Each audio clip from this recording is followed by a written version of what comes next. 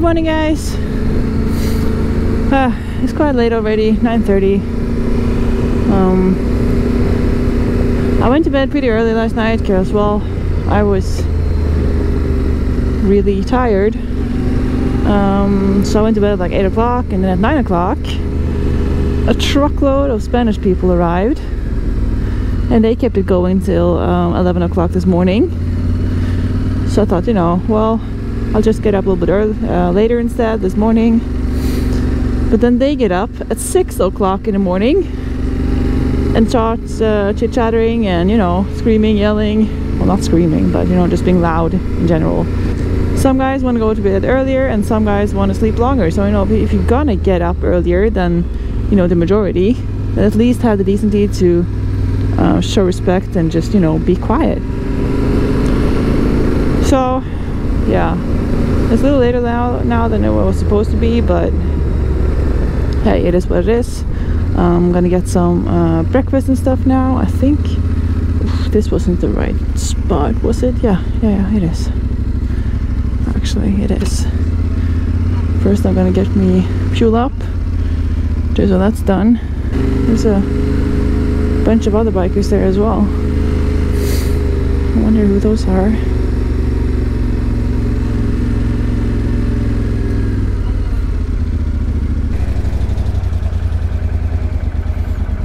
Bye. That was a bunch of German bikers. Uh, they're going home on the same ferry as me on Wednesday, so I guess I'll I'll see them then. Now, Loki has full tank and I need full tank. Just per procedure. So, I'm going back to the cafe I was yesterday because I don't think there's a lot of, a bunch of other places you can go at this time. Was supposed to be open at 9, so yeah. Let's grab a coffee, something to eat, and then uh, then head off.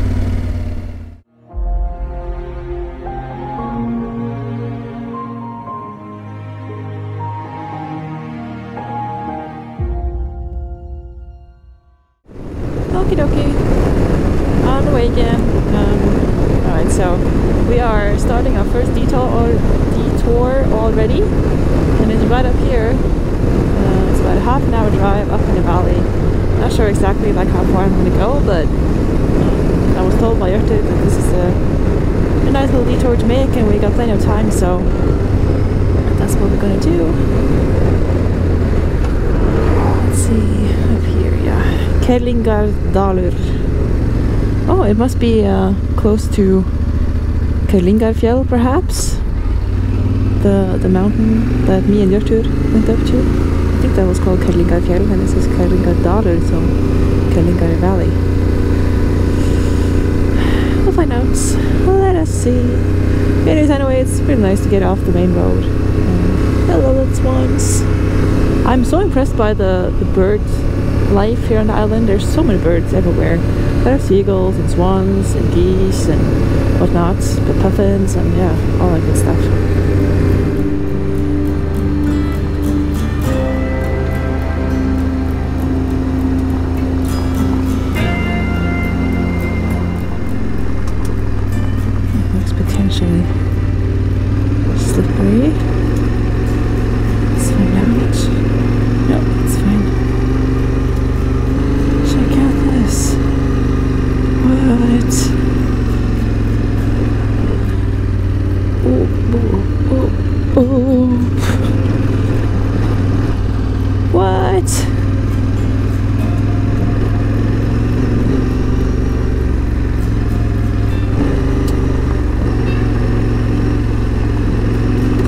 Surface keeps changing and changing from like sandy, like sandy stuff to big rocks to really bumpy roads, you know. But hey, what's new, right?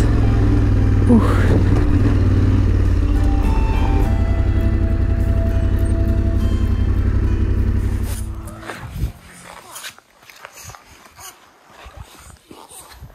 Are so.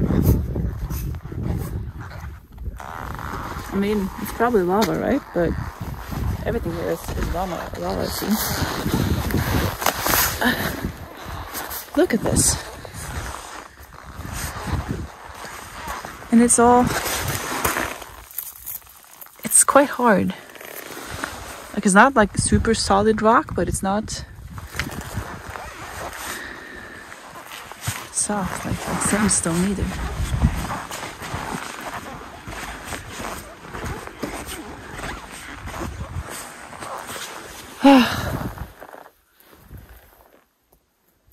yeah. Awesome.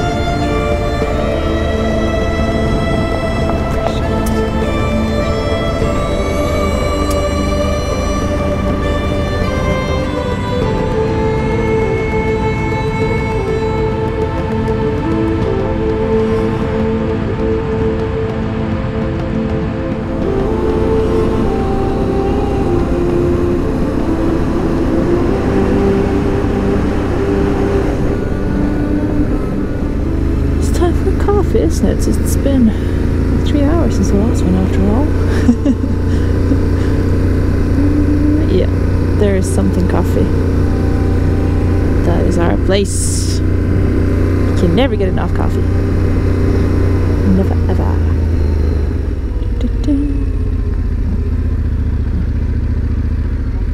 Yeah, this is nice.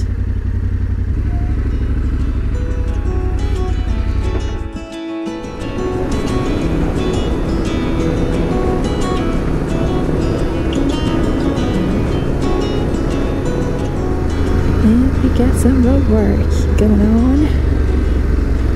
Is this some loose gravel? Yes, it is.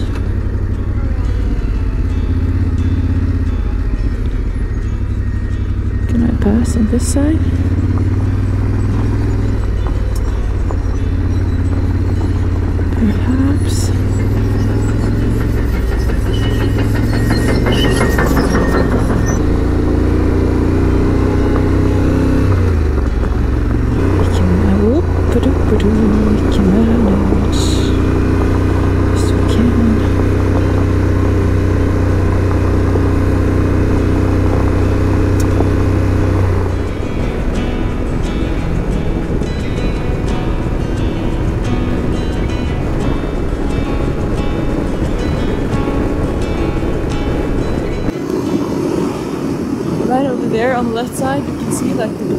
Or the end of a massive glacier.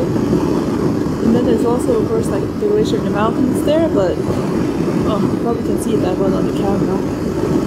I thought there was supposed to be like a viewpoint somewhere here, you can um, ride all the way up to like the glacier, but I might have been mistaken. That looks sick. And then on this side, it's just this black desert. It's nothing. It's just every time I think that, you know, hmm, what else could Iceland possibly has to offer? And then there's stuff like this showing up. And what, what is this? Nothingness and massiveness. Yes. That is so cool. Iceland, I love you! I freaking love you! oh, I definitely have to come back sometime.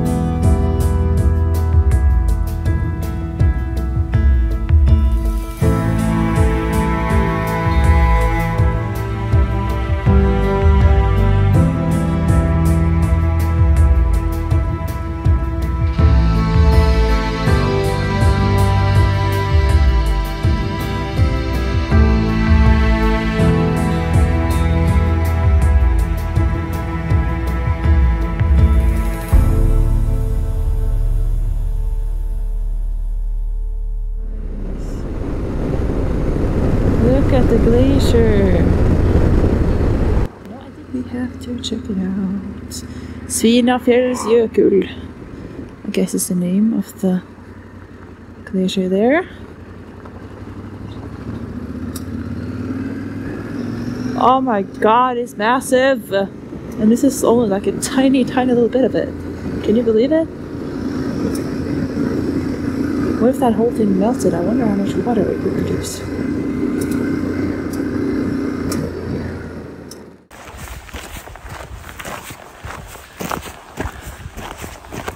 I get some exercise on my trips.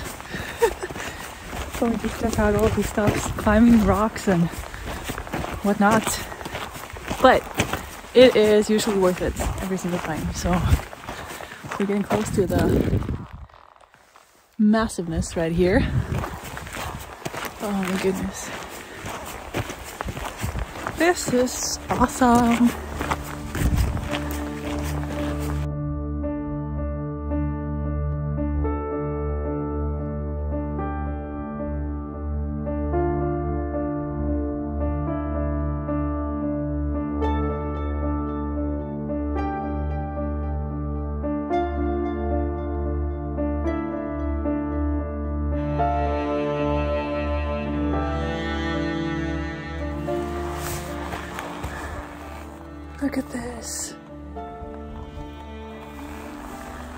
Is massive. Wow. So here you can see the glacier from this side. And then we are going to the third side near Diamond Beach in about 30 minutes. Ooh it over and help pictures. Is it recording? Yes, we are. No fault today.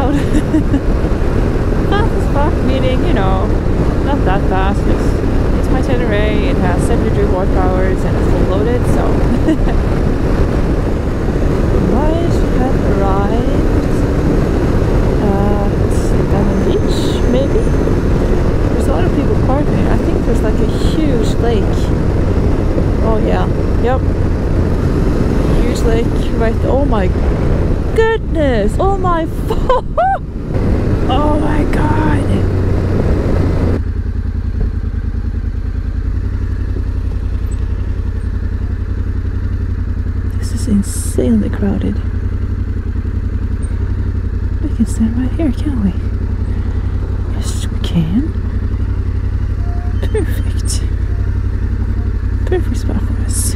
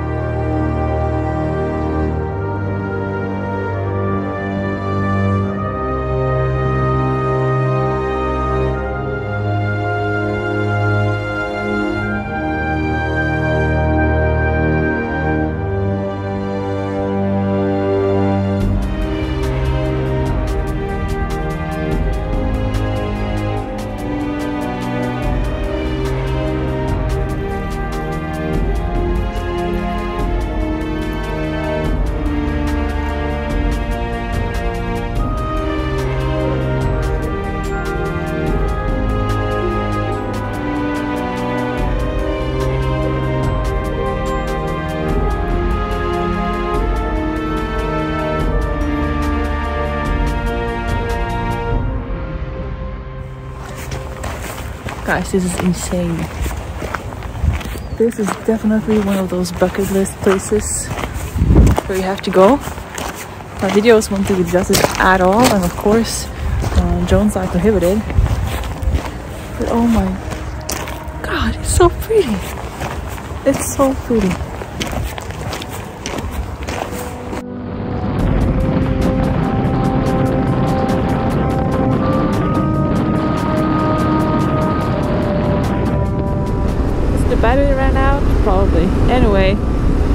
Headed to the camping, about an hour to go. Um, I'm freezing. Wind is cold coming over the glaciers there. Am I seriously gonna have the glacier as my neighbor sleeping tonight?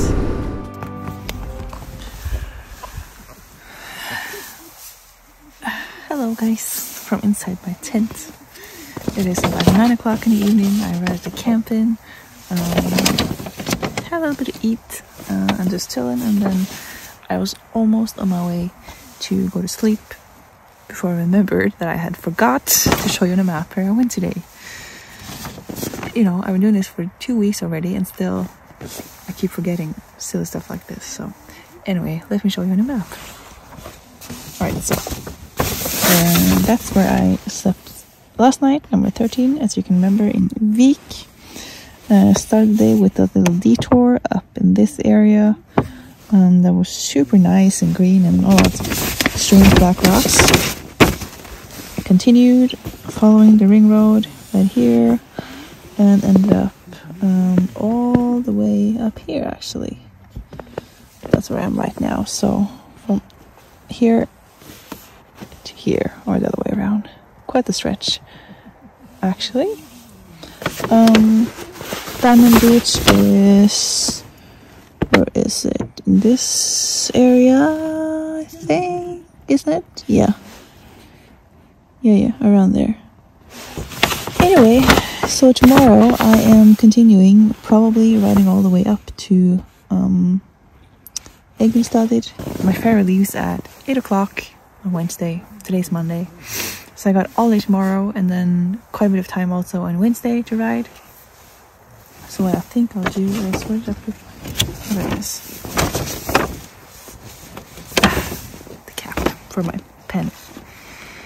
Uh, anyway, what I was saying, what I think I'll do is I'll just um, find a camp somewhere close to the city tomorrow and then I will just roam around in the area on Wednesday until the leaves, I think. Second to last night tonight That's kind of sad. Alright, um, I gotta crawl out of my sleeping bag to go to the toilet and then I'll go to sleep. That's the worst part because it's quite cold. It's probably like seven, six, seven degrees outside. Pretty chilly, pretty damn chilly. So getting out of the sleeping bag to like use the bathroom and stuff, not a fan. Anyway, thank you for watching also this episode. Sorry for being such a messy head sometimes. It's just what it is. I, yeah, I am what I am. It is what it is. Alright, hopefully I'll see you guys uh, tomorrow. So, uh, you know, until then, adios. Bye bye. See you later.